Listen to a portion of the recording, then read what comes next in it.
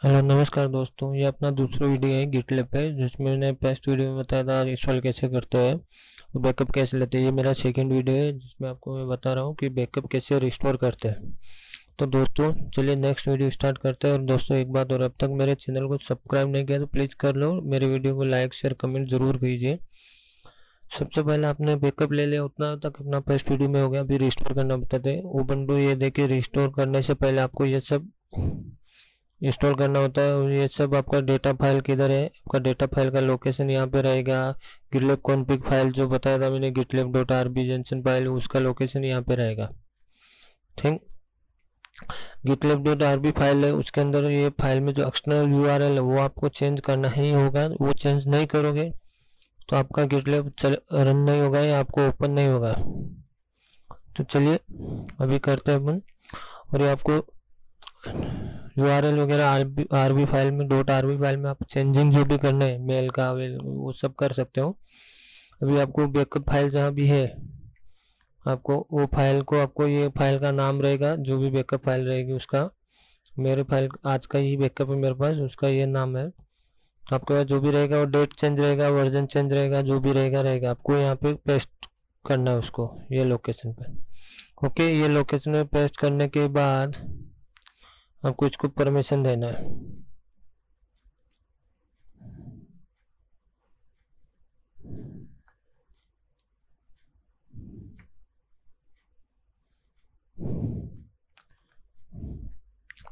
ये आपको ये कमांड टाइप करना है, उसके बाद।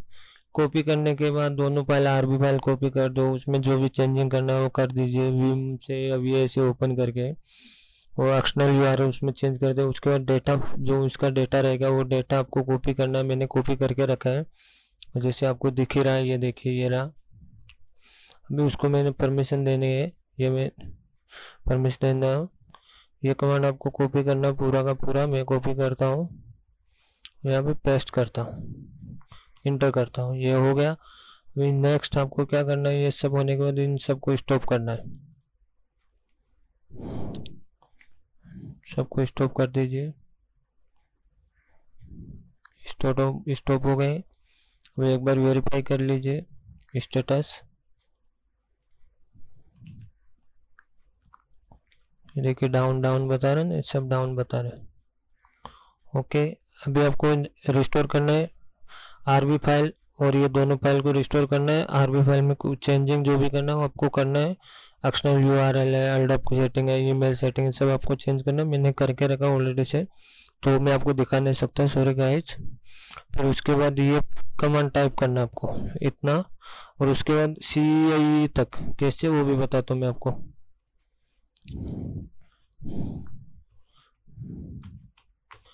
पहले वो दिखाता हूँ फ़ाइल यहाँ तक आ गया। अभी यहाँ से आपको इतना फ़ाइल कॉपी करना है। कितना यहाँ तक सी तक, इतने तक, यहाँ तक। बस उसके आगे का नहीं करना है, और यहाँ पे इंटर करना है। तो दोस्तों बैकअप रिस्टोर होने में थोड़ा टाइम लगा। एक दो मिनट आपका डेटा जितना है उतना। तो उतने तक मैं वीडियो पोच करता हूँ। जैसे मैंने आपको फ़र्स्ट वीडियो में बताया था कि मेरा रिस्टोर होने के बाद देखना आपको नया टैब मिलेगा। जो एल का टेप मिल जाए ईमेल कॉन्फ़िगरेशन सब मेरा आरपी फ़ाइल में सेट किया हुआ है। तो आप सब सेटिंग में ऑटोमेटिक सेट हो जाएगा। तो आपको पहले चाहिए तो आरबी फ़ाइल नोटपैड में ओपन कर लीजिए सिस्टम पे देखिए डू वाट कंटिन्यू यस करते हैं।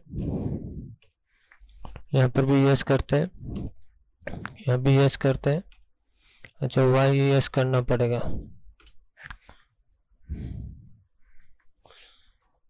वाई से नहीं चलेगा, आपको पूरा टाइप करना पड़ेगा। ये देखिए, अपना अभी रिस्टोर हो रहा है प्रोसेस तो मैं वीडियो को पोज करता हूँ। दोस्तों, आपको नेक्स्ट वीडियो में मैं ये भी बताऊँगा कि गिटलेब का वर्जन कैसे अपडेट करते हैं वो मेरा नेक्स्ट वीडियो में बताऊँगा मैं आपको। तो ये वीडियो में सिर्फ़ इतना ही रिस्टोर होने तक आपको ओपन करके दिखाऊँगा। तो गाइस बने रहिए। जैसे दोस्तों, देखिए, अपना रिस्टोर कंप्लीट हो गया डन डन सब कंप्लीटेड आया है। कुछ भी एरर नहीं तो एरर नहीं आना चाहिए। इसके बाद रिस्टोर होने के बाद आपको क्या करना है? ये कमांड डालना है।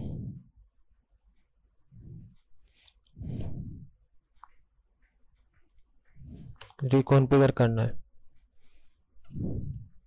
रिकॉन्फिगर मतलब समझे आप कि डेटा आपका जो भी बैकअप रिस्टोर किया वो रिस्टोर होने का कॉन्फ़िगर होने का प्रॉपर होएगा कि नहीं होएगा? देखे देखिए दोस्तों एरर दिया ना आपका यूआरएल क्योंकि ये यू आर एल क्या बेड एल है। क्योंकि ये हमने सेट नहीं किया गिटलिब आरबी फ़ाइल में। आपको अपने सेट करना है गिटलिब डॉट आरबी फ़ाइल में external U R L okay मैं सेट करता हूँ, फिर उसके बाद रिस्टोर करेंगे। दोस्तों एल मैंने चेंज कर दिया गिटलिब आरबी फ़ाइल में। ये देखिए, अभी रिकॉन्फिगर हो रहा है। तो ध्यान रखना आपको चेंज करना मत भूलना। क्योंकि जो इंस्टॉलेशन किया था, वही यू आर एल आपको गिटलेब डॉट आर फ़ाइल में होना चाहिए। अभी देखिए रिस्टोर हो रहा है। रिकॉन्फिगर हो रहा है। ये होने के बाद आपको ये कमांड टाइप करना है।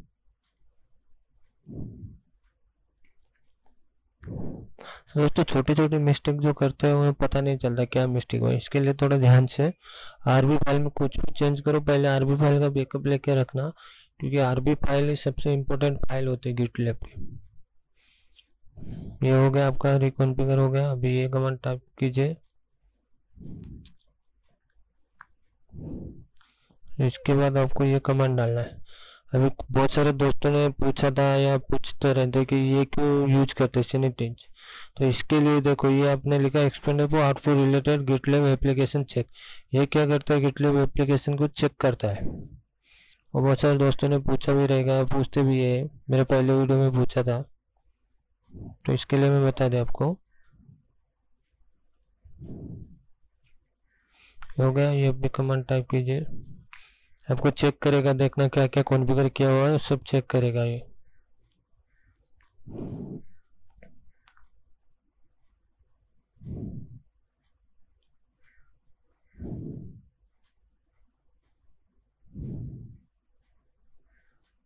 ये देखिए दोस्तों ये ईमेल सक्सेस ये देखो। सब चेक कर रहा क्या फेल्ड हुआ क्या चेक हुआ आपका।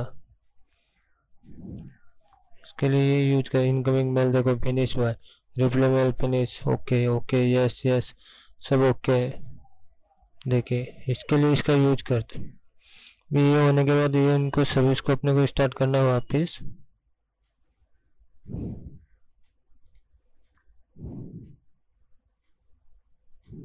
ये ओके स्टार्ट हो गया सब सर्विस इसके बाद आपको यदि इसका कॉल लॉग्स फ़ाइल होता है कहाँ पे रहता है? यहाँ पे आप देख लीजिए। ये लॉग्स फ़ाइल है। उसके बाद ये देखिए लॉग फ़ाइल वगैरह है। अभी आपको ओपन करके दिखाता हूँ मैं अपना पेज जो यू आर एल का कॉन्फ़िगर का। मैं जो पब्लिक आईपी सेट किया था वही है वही मैं ओपन करता हूँ। देखिए लास्ट टाइम जो पेज ओपन किया था वही था। यही था बराबर। अब मैं यही पेज को रिफ्रेश मारता हूँ। ये देखिए एल आ गया स्टैंडर्ड एल में बोला था ना स्टैंडर्ड में आपका रूट और वो आएगा। एल में जो आपने यूज़र सेटिंग किया एक्टिव डायरेक्टरी के थ्रू वो सब यूज़र नेम आएँगे। ये देखिए, आ गया आपका।